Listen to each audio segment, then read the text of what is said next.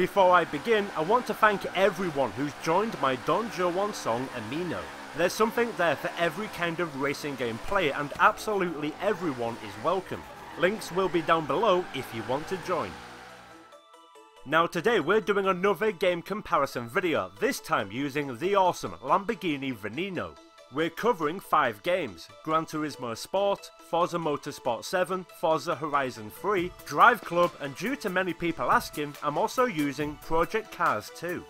These videos are not to compare which is the most authentic, but to compare how each gaming developer showcase their vision of a Lamborghini Veneno. Like always, let me know which one you prefer, what sounds better, what looks better, and if you could only pick one to play for the rest of your life, which one would it be and why?